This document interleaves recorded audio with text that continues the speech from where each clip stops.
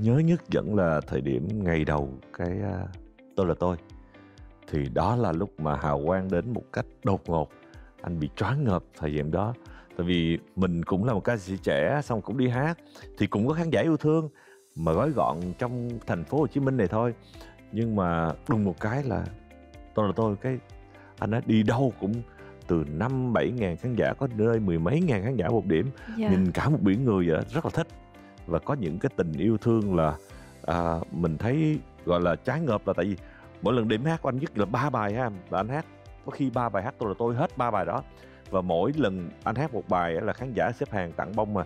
Dài dài em có tin hồi xưa cái nhà anh đó có một cái phòng mà anh để phòng riêng tất cả chứa những gấu bông và những cái những cái cành hoa mà xưa là hoa nhựa. Mỗi người phát tặng một cây thôi anh có thể chứa được một nhà. Đó. thì đó là những kỷ niệm đẹp của anh là và là thời tôi là tôi. Vậy thì nói về thời gian sắp tới anh có những kế hoạch hay là dự án gì trong âm nhạc và trong cuộc sống nói chung anh có thể chia sẻ với quý vị khán giả? anh có bốn dự án âm nhạc cái nhất là một cái đĩa nhạc remix giống như mọi người hay yêu thích anh với Saka Chân Tiền thì hai anh em đang đang áp dụng một cái dự định ờ, một dự án remix rồi một cái dự án mà anh anh muốn hát cho bản thân anh nghe hy vọng là khán giả cũng thích dự án này là acoustic thì anh Wow. thích ngồi hát với một bài hát với đơn giản với một cái đàn guitar hoặc là một cái saxo thôi và hát mình có thể tự sự và dự án tiếp theo là một à, uh, album nhạc uh, phòng trà và một album nhạc quê hương.